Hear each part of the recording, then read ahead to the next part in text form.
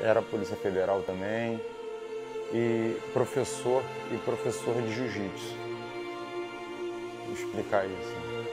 É, meu pai praticava jiu-jitsu desde jovem. O meu pai era Polícia Federal, fatidicamente ele foi na estatística do, do, do, do policial do Rio de Janeiro. É, subindo comunidade, ele foi surpreendido e foi alvejado aí e veio a falecer nas favelas do Rio.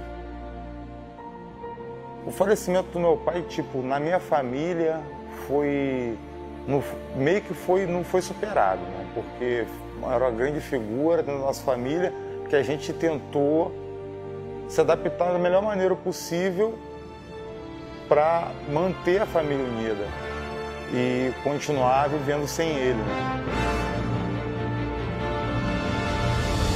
O, aí, onde o conhecimento do meu irmão e para minha irmã já foi passado por mim, meu pai já era falecido, como eu já falei, eu passei o conhecimento para eles. Eu fui o mestre do meu irmão, tanto como da minha irmã.